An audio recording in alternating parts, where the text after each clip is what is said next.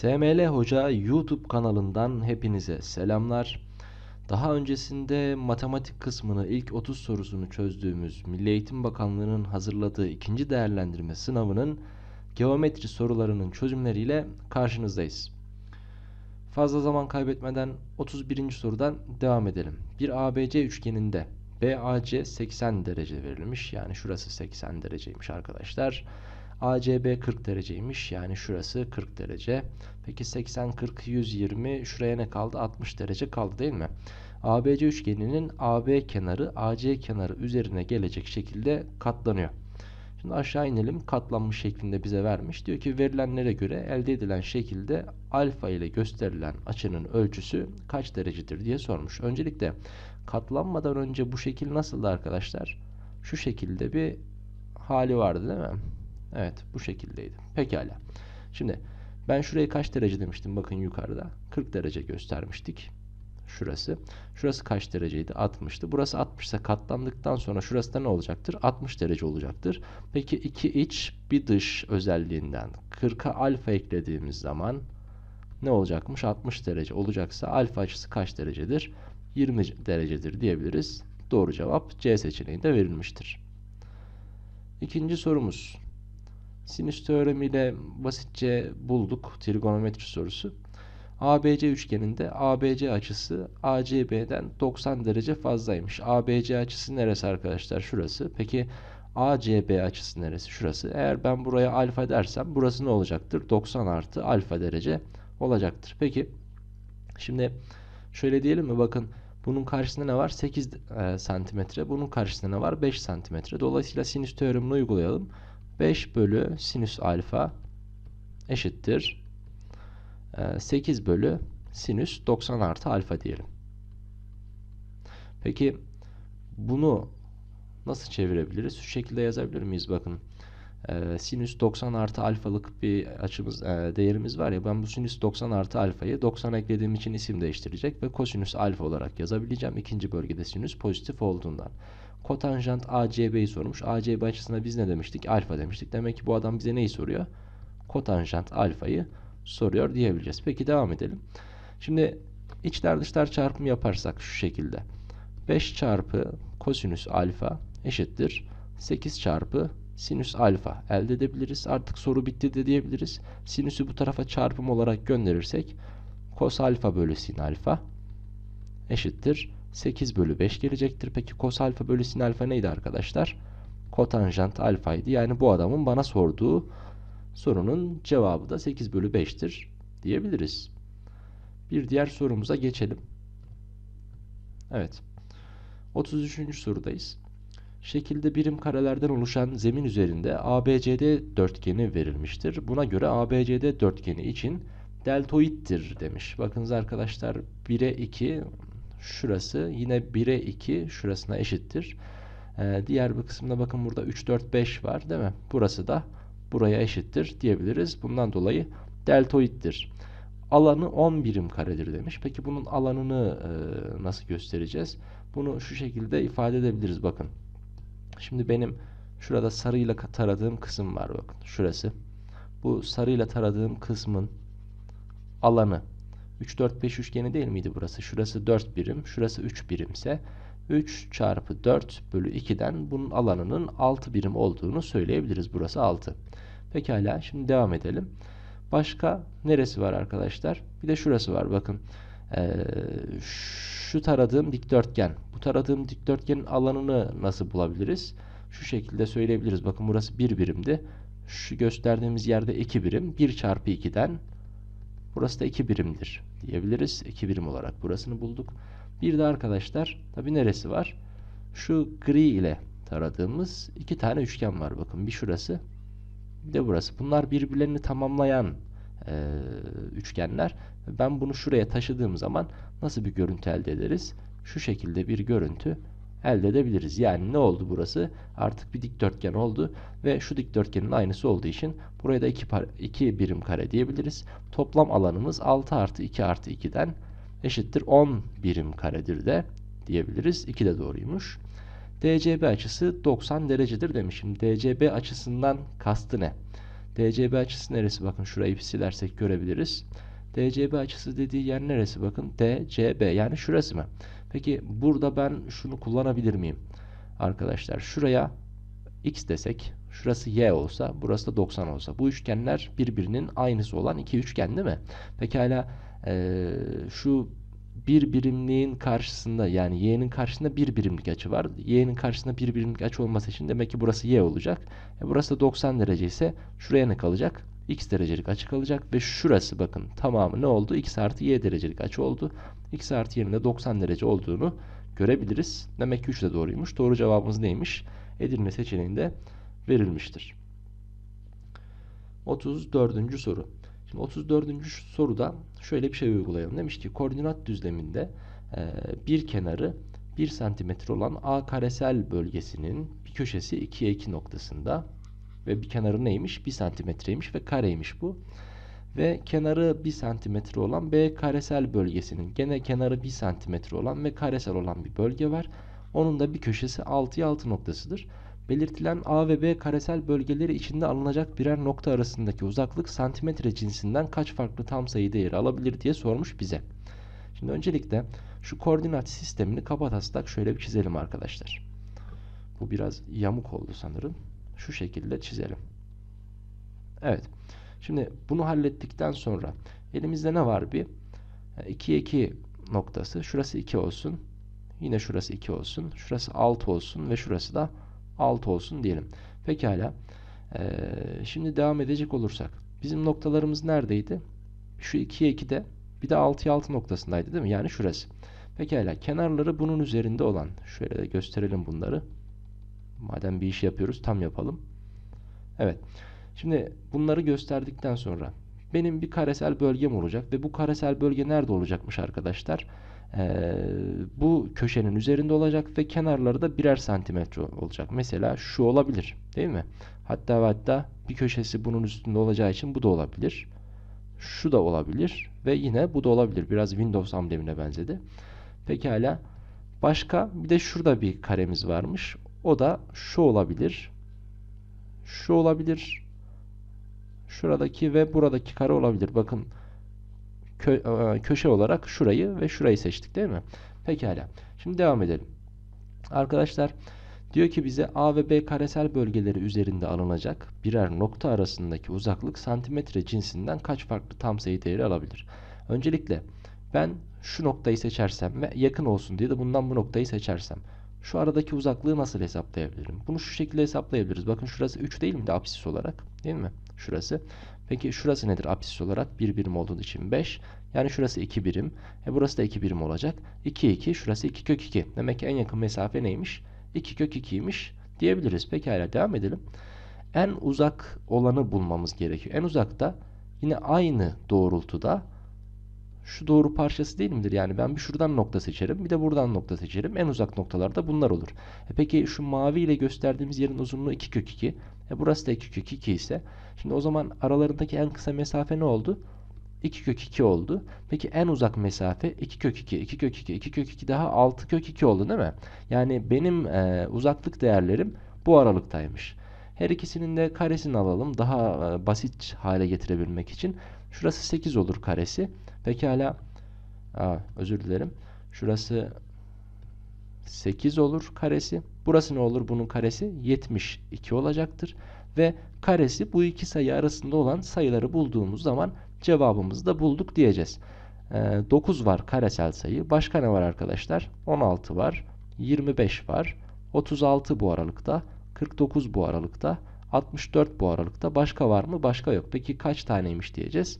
9, 16, 25, 36, 49 ve 64. Yani toplamda kaç taneymiş? 6 taneymiş diyebiliriz.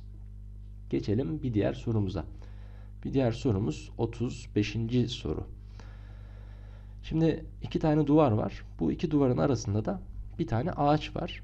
Ve köşede de şurada gösterilen spot ışıkları var. Bu spot ışıkları e, açıldığı zaman ağaçlarda bir görüntü oluşturuyorlar. Bu ağaçlardaki görüntünün boylarını vermiş bize. Demiş ki eğer A noktasındaki spot ışığı açılırsa ağaçta oluşturduğu görüntü yani ağacın gölgesi şu duvarda 6 metrelik bir görüntü oluşturuyormuş. Bakın şurası 6 metreymiş. Diğer tarafta oluşturduğu zaman da bunun da rengini farklı seçelim. Şöyle. Diğer tarafta oluşturduğu zaman da şu şekilde oluşturacak ve burası da neymiş? 12 metreymiş ağaçta duvarda oluşturduğu görüntü. Pekala ben buradaki kelebekten dolayı şuraya k dersem burası 2k olmaz mı arkadaşlar? Değil mi? E pekala şimdi devam ettirelim işlemi. Diyelim ki madem burası k'ya 2k ben şunu yapabilir miyim üçgen benzerliğinden? k'ya 3k değil mi? Yazıyorum bakın k'ya 3k ise k bölü 3k yani 1 bölü 3 değil mi? Ağacın uzunluğuna x dersek x'e 12'dir diyebiliriz. Dolayısıyla 4 katıysa 4 katı olacak. X kaçmış arkadaşlar? 4'müş diyebiliriz. Sorunun cevabına yani Edirne seçeneği. Bize de zaten ağacın boyunu soruyordu.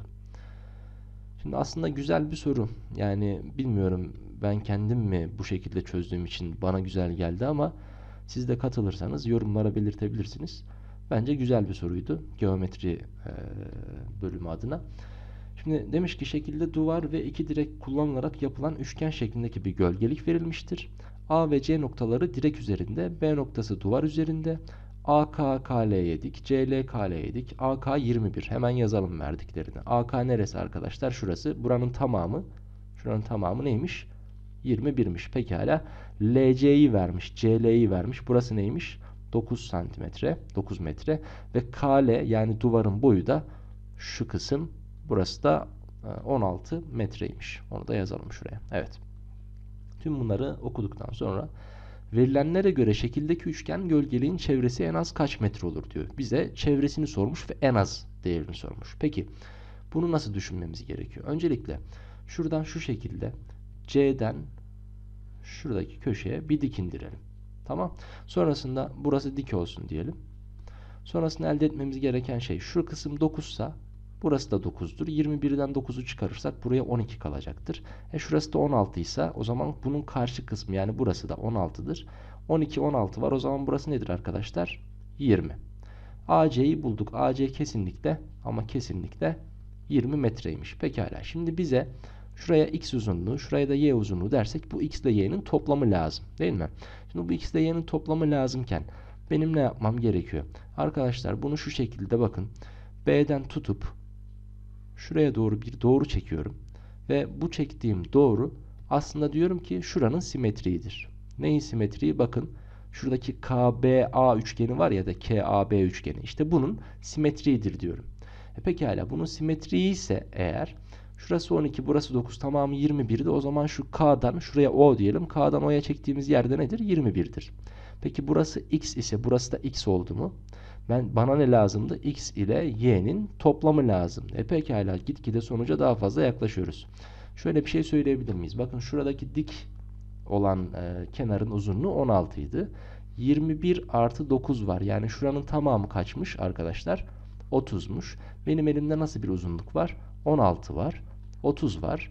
Aslında bir özel üçgenimiz vardı. 8 vardı, 15 vardı. 2 katı 2 katıysa o zaman hipotenüs neydi? 8, 15, 17 idi değil mi? 17'nin 2 katı 34'tür. Bu 34 nereyi verdi bana? X ile y'nin toplamını verdi. 34. E ben şimdi x ile y'nin toplamını 34 buldum. Yani şununla şunun. E şuradaki 20'yi de biliyorum. E madem öyle bana da zaten üçgenin çevresini sormuştu. x artı y artı 20 eşittir. 34 artı 20'den doğru cevabın 54 olduğunu söyleyebiliriz. Doğru cevap D seçeneğinde verilmiştir. Bir diğer sorumuzdayız. 37. soru. Yine güzel bir soru fakat şu oklar hani ÖSYM'de eğer böyle bir soru çıkarsa ÖSYM'nin yaptığı sınavda daha e, açıktır soruda ne anlatılmak istediği. Burada pek açık değil ama olsun yine de anlaşılıyor. Güzel bir soru. Şimdi şöyle diyelim mi bakın. Diyor ki ABCD dikdörtgen biçimdeki kağıt şeklinde gösterildiği gibi kenarlarına paralel ve eşit aralıklar e, aralıklı doğrular boyunca sıra numarasına göre ok yönünde katlanacaktır.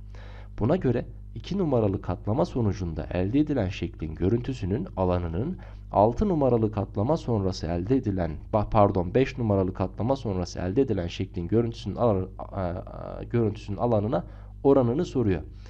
Şimdi ben tutup şuradan bir numaralı şekilde katlarsam şu tarafa doğru bakın vermiş ok yönünde bu tarafa katlarsam neresi iptal olur? Bir kere şurası gitti. Burası iptal. Pekala. Şimdi şurayı tarayalım. Burası iptal oldu. Geriye elimizde ne kaldı? Şuradaki bölge kaldı değil mi? Taradığımız bölge. E pekala. Şimdi devam edelim.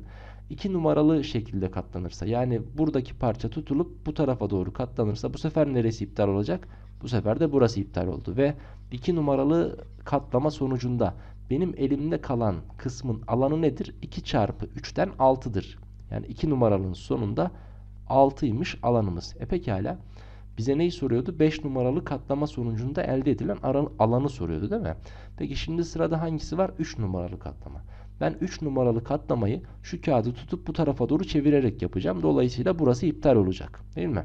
Biraz fazla kaydı sanırım. Evet kusura bakmayın. Şurası olacak değil mi? Katlama sonucunda burayı kaybettim. Elimde sadece şu 4 birimlik bir kare kaldı. Şimdi 3'ü katladık 4'ü katlayacağız. 4 numaralıyı bu tarafa doğru katladıktan sonra elimizde artık şu taradığım kısım dışındaki kalan yerler kaldı. Yani şurası kaldı. 5 numaralı katlama sonucunda diyordu. Geriye kalan 5 numarayı da bu tarafa doğru katlarsam artık elimde burası da kalmadı. Burası da gitti ve geriye sadece ne kaldı? Bir birim karelik bir yer kaldı. 5 numaralı katlamanın sonucunda 6'nın 1'e oranını sormuş. Dolayısıyla 6'dır. Doğru cevap da Bursa'dır diyebilirsiniz. Bir diğer soruya geçelim. Bu da güzel bir soruydu. Bu arka sayfadaki, bir önceki sayfadaki kartezyen koordinat sistemindeki ee, hani 1'e 1 6'ya 6 diye kareler çizmiştik ya aynı o soruya benziyor biraz. Yukarıda birim karelerden oluşan zeminde AB ve CD çizilmiştir. Doğru parçaları çizilmiş. AB ve CD çaplı çemberler çizildiğinde bu çemberler arasındaki en kısa uzaklık kaç birim olur diye soruyor. Şimdi çapı CD olan çemberi nasıl çizebiliriz? Şu şekilde gösterebilir miyim? Biraz kaba taslak çiziyorum kusura bakmayın. Çembere benzedi. Şimdi A, çapı AB olan e, çemberi nasıl çizeriz? Onu da şu şekilde gösterebilir miyim? Şu şekilde bir çember olsun. Alt tarafa doğru da şu şekilde uzasın gitsin çember. Şurası merkezi değil mi? Bunun da merkezi burası. Pekala. Şimdi bunları yaptıktan sonra en kısa mesafeyi bulabilmek için ne yapmam gerekiyor arkadaşlar? Şundan şuna bir doğru parçası uzatmam gerekiyor ve bu doğru parçasının arasında kalan bölge benim için en kısa mesafedir diyebiliriz. Yani orası neresi oluyor? Şu e, işaretlediğimiz noktayla bu işaretlediğimiz nokta arasındaki uzaklık en kısa mesafe olacak. Peki bunu gösterebilmek için ne yapmamız lazım? Bakın şuradaki uzaklık ve şuradaki uzaklık. Burası kaç birim? 3. Burası kaç birim? 4 birim. Dolayısıyla şu yeşille gösterdiğimiz çemberlerin merkezinde merkezleri arasındaki kalan uzaklık 5 birimdir. 5 birim bu merkezler arasındaki uzaklık. Peki neyi çıkarmam gerekiyor şu arada kalanı bulabilmek için? Bunun çapı, bunun yarı çapıyla bunun yarı çapını çıkarmam gerekiyor. E bunun yarı çapı 2 idi. Bunun yarı çapı da 1. Toplam 3 birim çıkaracağım ve benim cevabım 2 birimdir diyeceğim.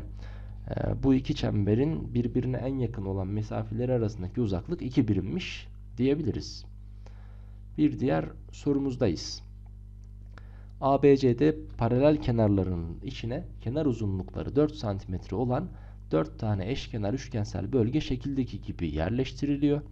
KM ve N eşkenar üçgensel bölge üzerindeki kenarların orta noktaları olduğuna göre yani şu K, M ve şuradaki N bulundukları eşkenar üçgenlerin orta noktaları, kenarların orta noktaları. Ee, ABCD paralel kenarının alanı kaç santimetredir diye sormuş. Kaç santimetre karedir diye sormuş bize. Şimdi öncelikle bu soruyu şöyle düşünelim.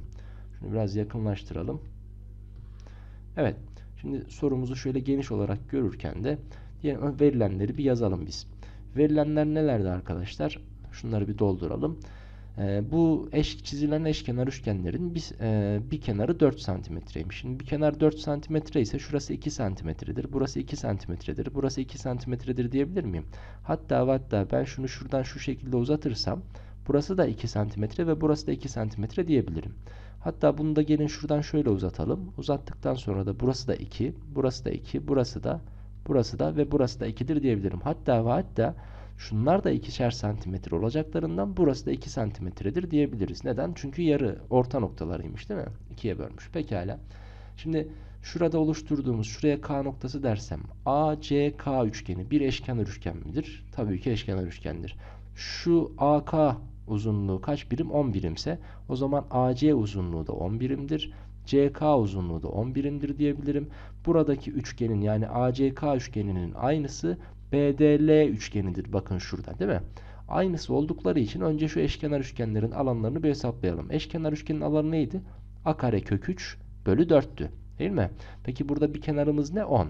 10'un karesi kök 3 bölü 4. Onun karesi 100. 4'e bölersek bu bir tane eşkenar üçgenin alanı neymiş? 25 kök 3 bölü 4'müş. E bundan iki tane vardı bu üçgenden. Dolayısıyla 25 kök 3 pardon şu 4'ü artık yazmayacağız. Özür diliyorum. 25 kök 3'müş diyebiliriz. E iki tane vardı. 2 çarpı 25 kök 3 dersek de bu iki tane eşkenar büyük eşkenar, eşkenar üçgenlerin alanları neymiş? 50 kök 3'müş diyebiliriz. Şimdi ne kaldı? Arada sadece şu hesaplanmayan yer olarak sadece şurası kaldı. Bakın şu taradığımız yer kaldı. Peki bu taradığımız yerin alanını nasıl bulabiliriz? Yani ALKD'nin alanını nasıl bulabiliriz? Bu bir paralel kenardır ve bize yüksekliği lazım değil mi bunun alanının hesaplanabilmesi için? Yani neredeki yükseklik? Şuradaki yüksekliği bulursam halledebiliriz soruyu. Pekala buradaki yüksekliği nasıl bulabiliriz?